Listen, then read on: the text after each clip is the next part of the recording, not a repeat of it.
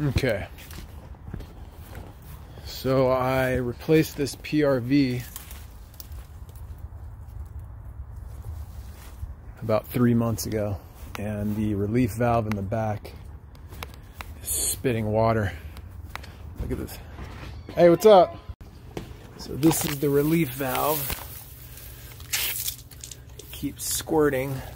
So we're gonna check the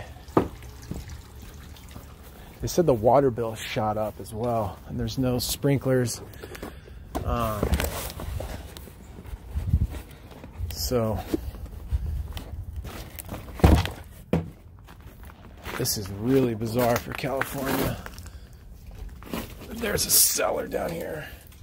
That is so rare in California. To have a freaking cellar. Gonna need light. Dang it. Okay, so there's no there's no light down here. Look at that. Look how it's just chilling on the side. That thing. Dang, I need to strap that, dude. I need to strap it to the ceiling or the uh, floor joists. That feels full of water. So, um, you can see, look at it. It's like, you can see the weight has been pulling on this. Okay, so this is so rare. Let's uh, let's check the um, wow. Let's check the uh, pressure. Okay, we're still at 60. Turn the water off.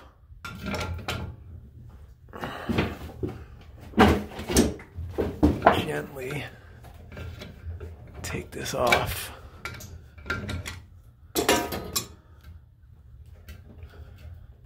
Yeah, it's full of water. I can feel it. All right. Oh, that's heavy, dude. Just to think that copper pipe was supporting all this weight. I mean, that's crazy.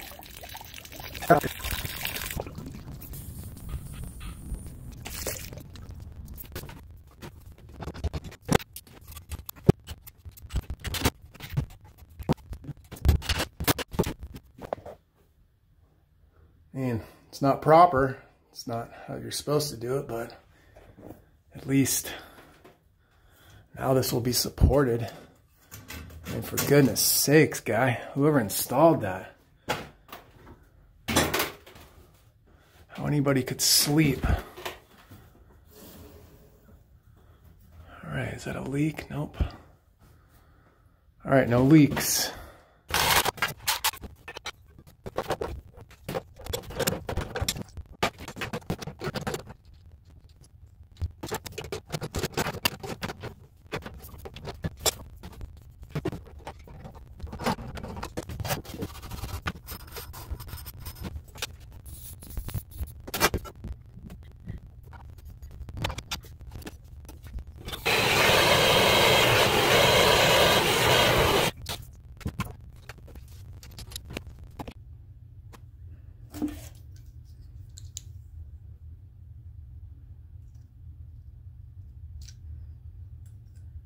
There's a lot of buildup on that.